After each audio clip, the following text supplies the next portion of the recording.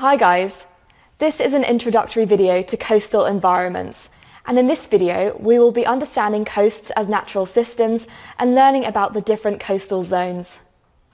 Like other processes in geography such as the carbon cycle and the water cycle, coasts also act as natural systems and therefore we can study them using a systems approach.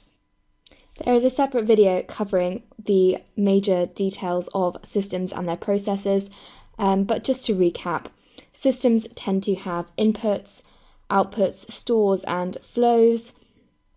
And I'm going to talk about them in relation to coastal systems. But if you want more information on exactly how systems work in general, then there is an entire video on that.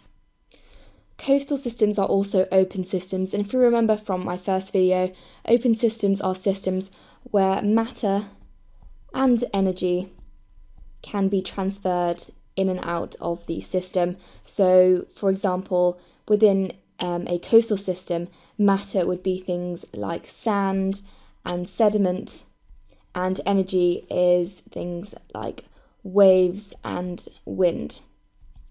And this leads us on to the inputs in coastal systems, which are things like energy.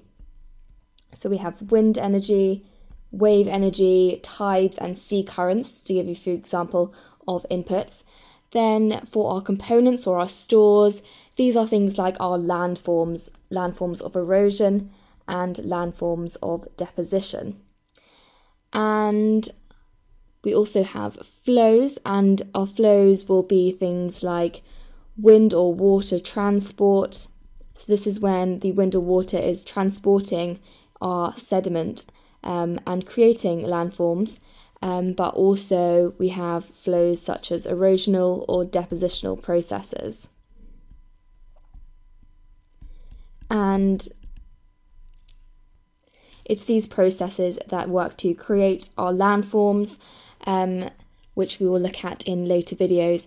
But landforms of erosion are those which are being kind of removed or degraded, and landforms of de deposition is where this material or sand or sediment is being deposited.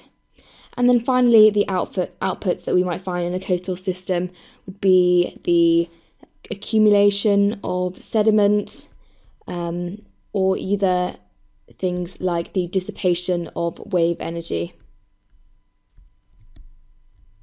Hi guys!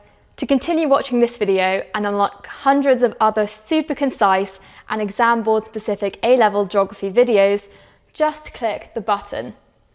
Join me today and together let's make A-level geography a walk in the park.